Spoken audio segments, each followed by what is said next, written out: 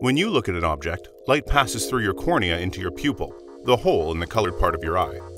It travels through your lens and focuses the light precisely on a point on your retina, the light-sensitive lining at the back of your eye. Much like adjusting the focus on a camera, a healthy eye lens flexes and changes shape to properly focus on objects at different distances. Once you reach your 40s, it becomes difficult to pull the lens into shape. The lens gets stiffer and eventually it loses its ability to flex altogether. Light focuses behind your retina instead of on it, and your near vision becomes blurry. Your eyes will continue to lose their ability to focus on close-up objects until you reach your 60s. It's normal, even if you've had perfect vision all of your life. This is called presbyopia, and everybody may experience it at some point in their life.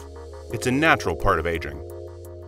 Fortunately, new innovations in eye care technology allow aging Canadians to see it all without having to wear burdensome reading glasses or progressive spectacles. Alcon multifocal contact lenses allow you to see near, far, and everything between.